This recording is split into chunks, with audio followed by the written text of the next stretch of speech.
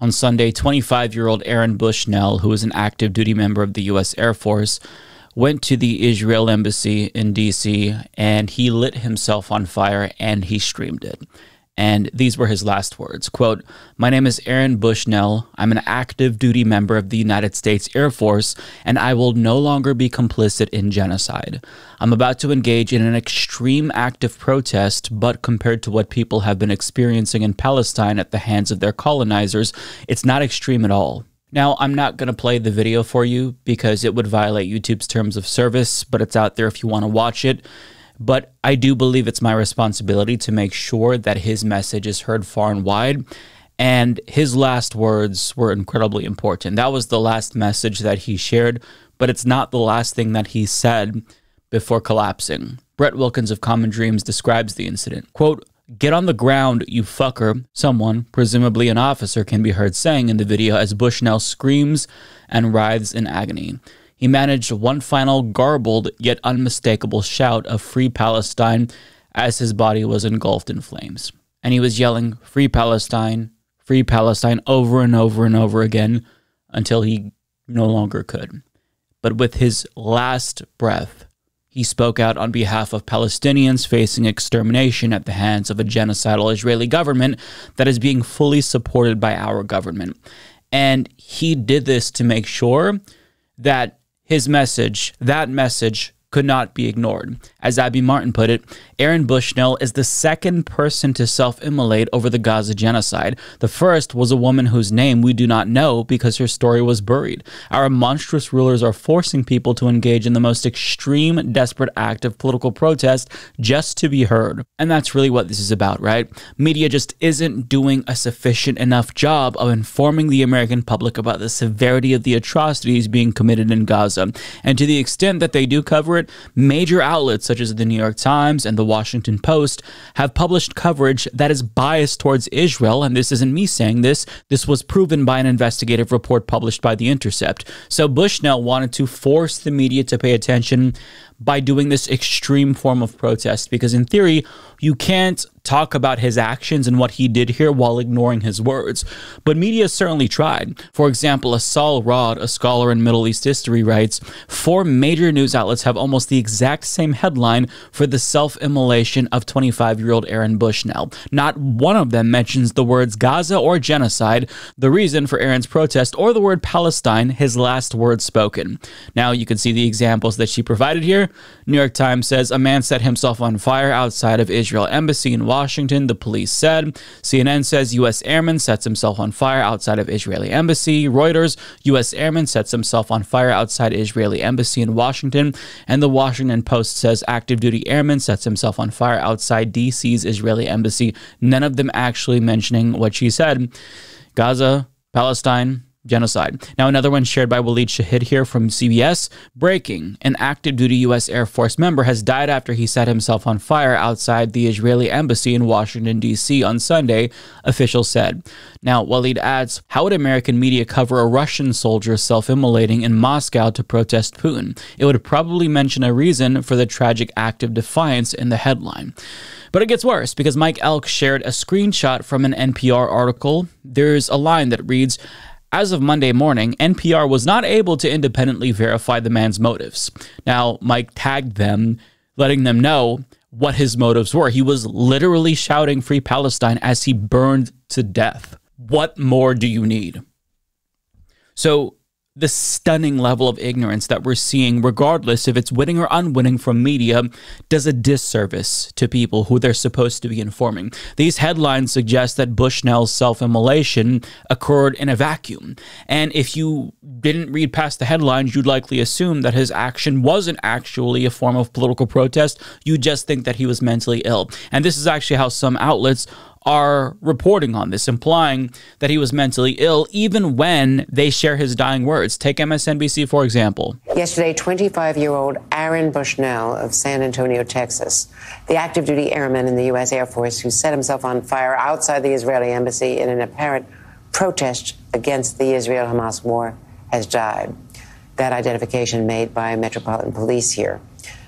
Bushnell filmed his own self immolation on his cell phone, yelling, Free Palestine, before collapsing to the ground outside the embassy.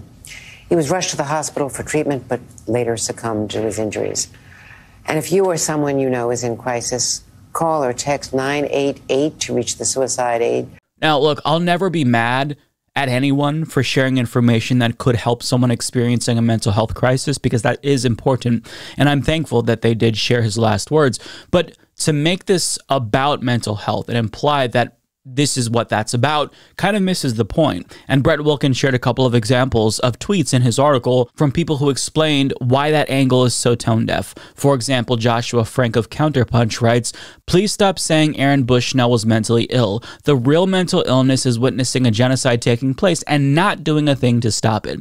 Also, Joseph Azam adds American media won't question the mental health of those who gleefully blow up neighborhoods full of children and hunt, humiliate, torture, and kill for sport, as we see with the IDF. That isn't viewed through a lens of dysfunction, but protesting it by self immolation, of course, Raphael Shimunov writes Notice after Aaron Bushnell burns himself alive to protest Israel, how everyone cheerleading Israel's carpet bombings of Gaza have overnight become mental health experts. They learned it from the NRA after mass shootings of children.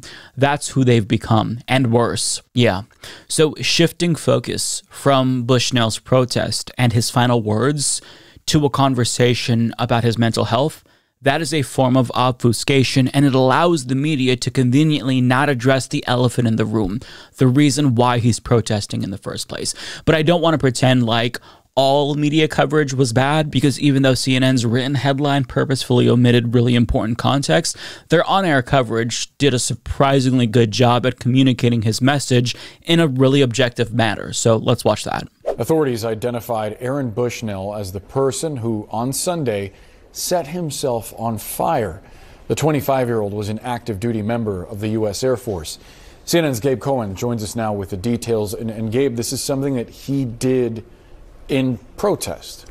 Yeah, that's correct. And we're learning much more about this 25 year old active duty airman, uh, Aaron Bushnell, as you mentioned. He's from San Antonio, Texas, and he live streamed his actions on Sunday in broad daylight on the streets of D.C.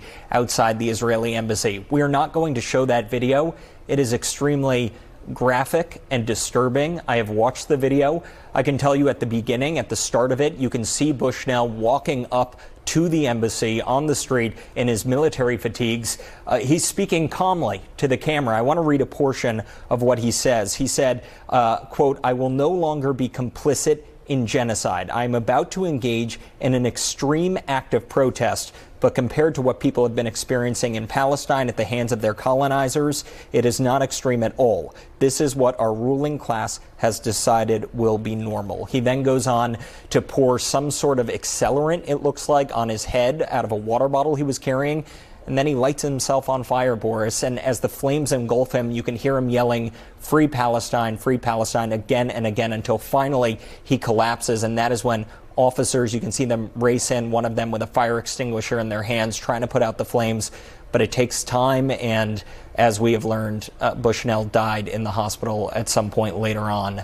Uh, and and look, it really speaks to the tensions that are continuing to escalate around the war in Gaza, not just across the world, but here in the United States. We saw a similar incident in December when someone self immolated, uh, lit themselves on fire outside of the Israeli consulate in Atlanta. Mm. But this feels different. This is an active duty member of the military burning himself to death on the streets of the nation's capital.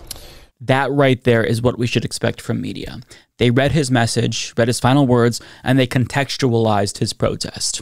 That was well done. And credit to Joshua P. Hill for sharing that clip on Twitter. I don't know that I would have seen it if he didn't share it because CNN hasn't posted this to their YouTube channel.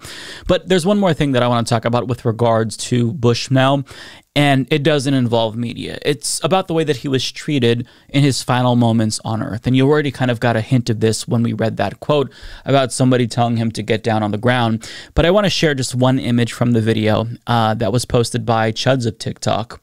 So you see an armed guard or policeman pointing a gun at him while he was literally burning to death. And if you watch the video, you can hear somebody saying, Get down on the ground, you fucker. And to this, of TikTok writes, This image should become infamous. There is no better example of the brutality inherent in the American system than trained security pointing his gun at Aaron Bushnell as he self immolates in protest. Now, a man in a white shirt who was trying to help said something to the effect of, I don't need guns, I need fire extinguishers. Yeah. And it's just so telling about the brutality of this country that a man who is literally dying after lighting himself on fire to protest a genocide that his government is supporting gets a gun pointed at him in his final moments. Is he a threat to anyone but himself in that moment? What what is he going to do? It just it speaks to how little regard we have as a society for human life and as a country, right? And how violence is just is just always our first instinct. That's the first thing we think to do, be violent. It's just so sad. But what I want to do is encourage everyone to just share Aaron Bushnell's final words on social media. You don't have to share the video because it's very difficult to watch, but his final words are important and they've been transcribed in the description so you can copy and paste them for others to see, put it on Twitter, on Facebook don't let his death being vain. And I think that sharing his words far and wide is one way you make sure that that's the case, that what he did has an impact. So, yeah, we'll leave that there. Rest in peace, Aaron.